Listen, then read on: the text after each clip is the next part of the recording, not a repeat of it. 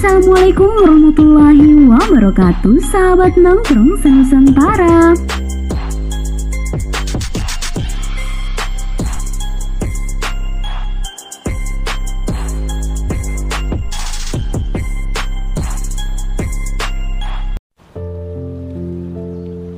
Andi Ramang, legenda PSM Makassar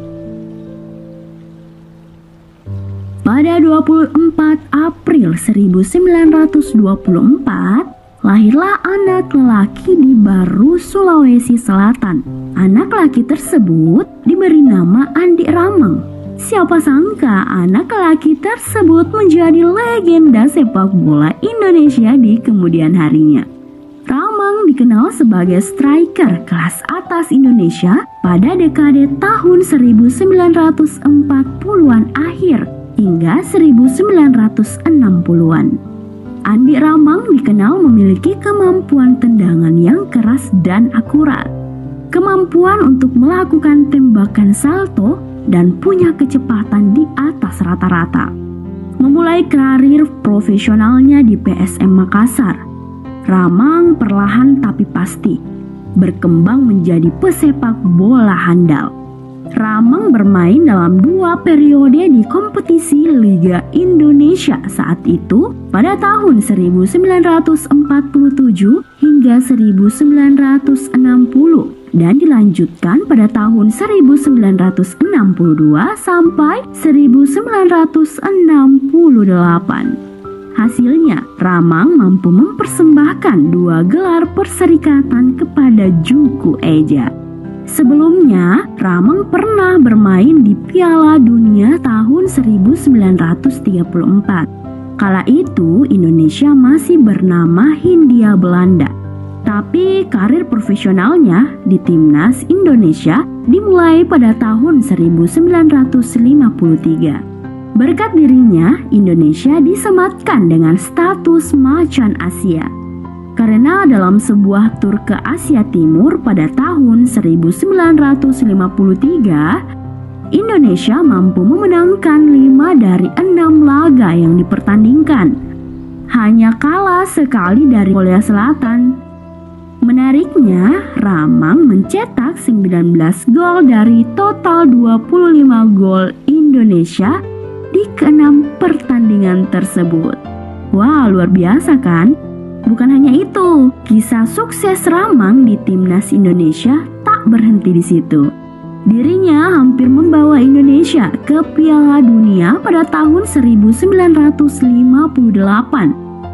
Setelah dua golnya menyingkirkan Tiongkok dengan skor agregat 4-3 di babak kualifikasi.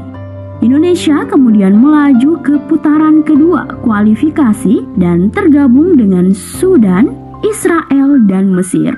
Sayangnya, Indonesia mengundurkan diri lantaran enggan bertanding melawan Israel karena alasan politik.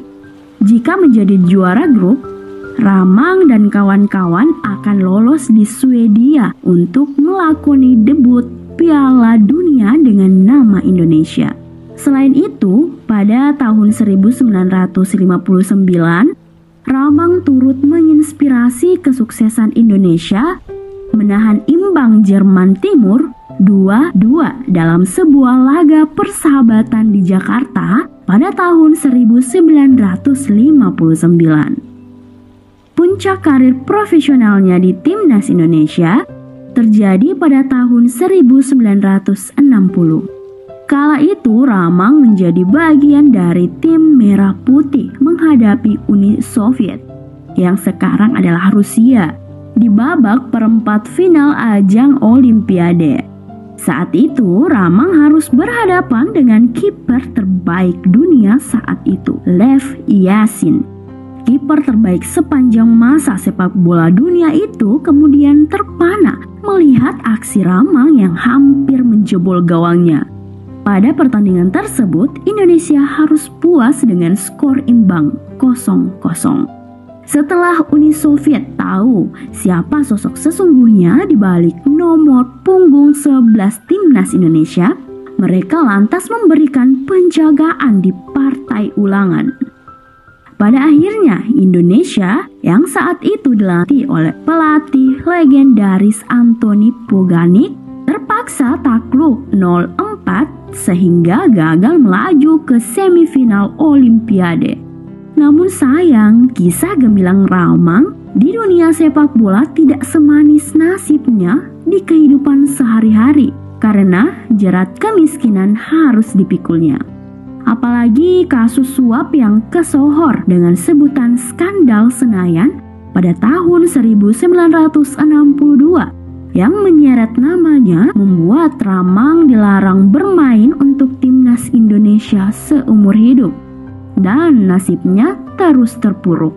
Saat itu Ramang sempat berkarir menjadi pelatih PSM dan Persipal Palu namun tersingkir karena pelahan akibat tidak memiliki sertifikat kepelatihan. Akhirnya sang legenda meninggal dunia pada tahun 1987 saat usianya 59 tahun akibat penyakit paru-paru tanpa bisa berobat di rumah sakit akibat kekurangan biaya.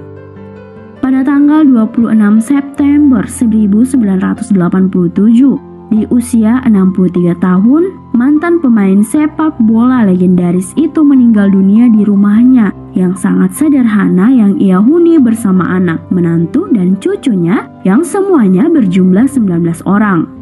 Ramang dimakamkan di TPU Panaikang untuk mengenang jasanya. Sebuah patung di lapangan Karebosi dibuat untuknya Selain itu, hingga sekarang salah satu julukan PSM Makassar adalah pasukan Ramang. Baiklah, sahabat nongkrong senusantara, itu dia kisah dari Andi Ramang, sang legendaris PSM Makassar. Semoga bermanfaat dan kita semua diberikan kesehatan oleh Allah Subhanahu wa taala. Jangan lupa like, komen dan subscribe. See you.